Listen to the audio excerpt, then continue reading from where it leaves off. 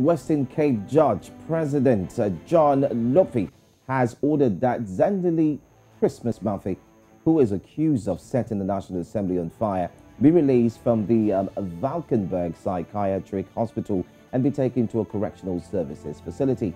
Uh, George Hlophe, during the uh, ruling, said, and I quote, um, We take the liberty of individuals seriously. This is the Western Cape. Mr. Mpofu, we know what we're doing.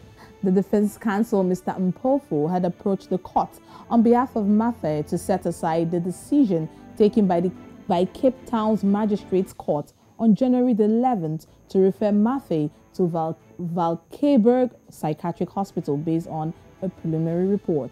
He said the preliminary psychiatric report conducted by Dr. Zelda Van Tonder was available to the prosecution seven days before the day of court proceedings, but was never given to the defense.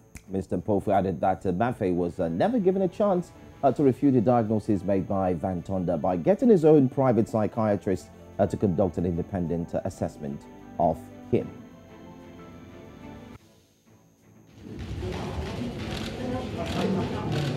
It's obviously that uh, it will have an impact on the grant and order last week uh, for the seven-day postponement. Under paragraph A, shall upon its mere production of such application corporate proceedings be that story continues, and of course, more updates will definitely follow through. Uh, it's all about uh, that particular man who, all of a sudden, uh, they're looking at a psychiatrist who would um, definitely provide support for him. But the case still goes on. There mm, needs that's to be. What the twist is. This yeah. evaluation coming yeah. out of the blues. Mm -hmm. I mean, a lot of people could have not seen it coming, but some people said, well, we're expecting a twist, but we didn't think of it to this angle, really. Mm, mm.